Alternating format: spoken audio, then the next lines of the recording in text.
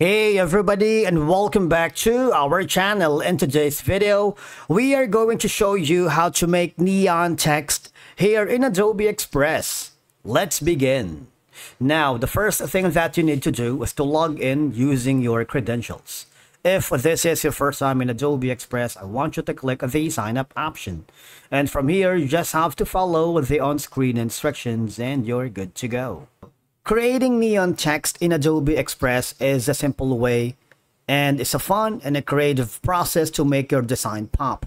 Once you are logged into your account, I want you to click the design or project that you're working. If you haven't already, just choose from the templates and get inspired from these amazing designs.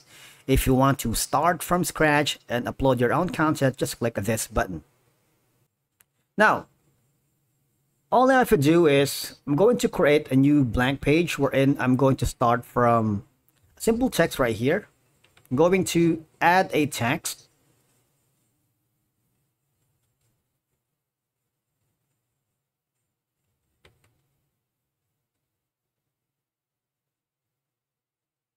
Of course, you can choose the uh, font font style that you wanted normally if you want to choose the uh, text right here maybe we can search for a neon.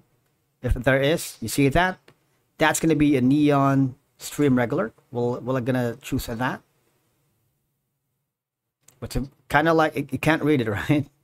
Let's look for another neon neon kind of font. We have something like tilt. This one right here the neon color.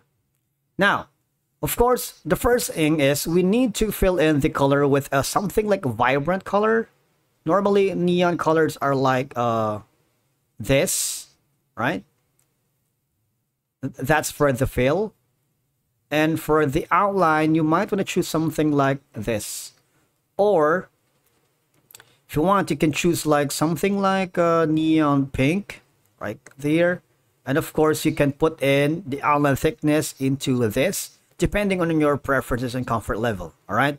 So these are some of the options for you to create a neon kind of text here, kind of neon uh, feel right here in the uh, Adobe Express. Another option that you can do is we're going to add an, a text here again, but this time we're going to choose a different um, font style, maybe just simple, right?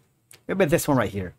Okay, so from here, all I have to do is go to the generate or no on the uh, shadow. You can put in a glow or a custom halo and smooth. For example, a glow like here. You can put in a different color. For example, we're going to ch choose like a bright, a vibrant color again. You see that? That is for the neon color, right? So we're going to put that is the shadow. And for the main fill, we're going to choose something like a vivid color. You see that one? That's a neon color, right? Now hover back again and then go again to the uh, effects section.